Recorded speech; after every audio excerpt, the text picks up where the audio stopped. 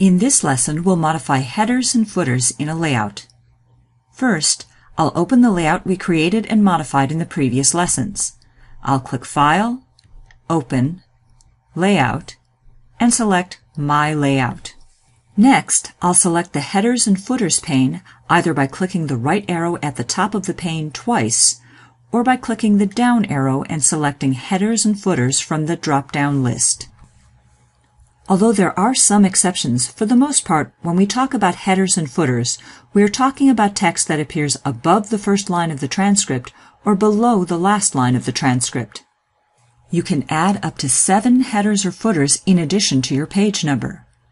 Let's begin with the page number. When you create or modify a page number, you will click Insert Field to select a page number field in the format you prefer. For example, page number 123. You can also add words or symbols before or after the field if desired. For example, if I wanted the word page followed by the page number on every page, I could click the header footer text field and then type the word page before the page number field. And when I click apply, you can see that the word page will appear before each page number. If I want the page number to be a different font type or style or size, I can click the Font button and choose how I want the page number to appear. At the horizontal prompt, I'll select where the page number should appear, aligned to the left or right margins, or centered. Just a reminder, as you learned back in the paragraph setup lesson, the left and right margins that you set for the default paragraph style dictate the margins that will be used for alignment for headers and footers. If you prefer the page number to be centered, you have three centering options between the left and right margin, centered on the page based on the width of the page as selected in Page Setup, or centered between the left and right box lines also as set in Page Setup.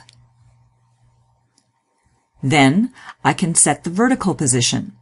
I can measure the position of the page number from the top edge of my transcript page and select exactly and type that number.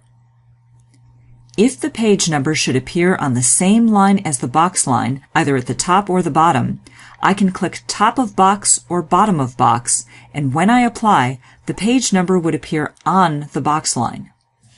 This last vertical option is only used in a few places, particularly in the state of New York.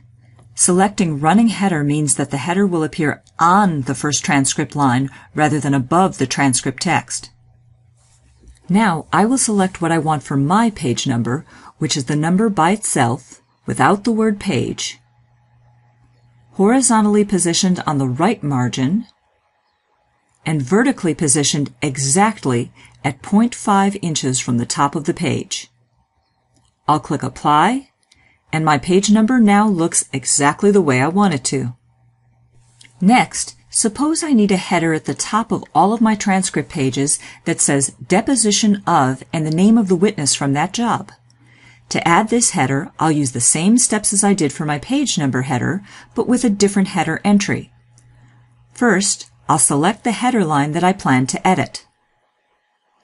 In the header text field, I'll type the text Deposition of. Now, the name of the witness will change every job, of course. So just like in an include file, I'll click Insert Field and then select the witness user-defined field as the placeholder for the witness's name.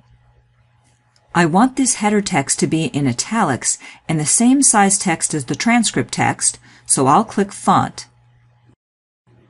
And I'll change the font style to italic and the font size to 12. The horizontal position of this header should be aligned with the left margin, so that's already properly set. The vertical position isn't quite right. I want the header text for both the header and the page number to appear to be on the same line, so I'll use the same measurement. It was half an inch or 0.50 for the page number, so I'll enter 0.50 here for the deposition of witness header. Now, I'll click Apply to see how that looks. It's looking good. Okay, one last item. Let's say I need a footer at the bottom of every page that advertises the name of the firm, Outstanding Reporting Services. The steps are the same as before. First, I'll click the next available header line. And by the way, it doesn't matter that it says header rather than footer. What makes a footer a footer is where it's vertically positioned. I'll go ahead and type the text, and then select the font style and type and size that I want.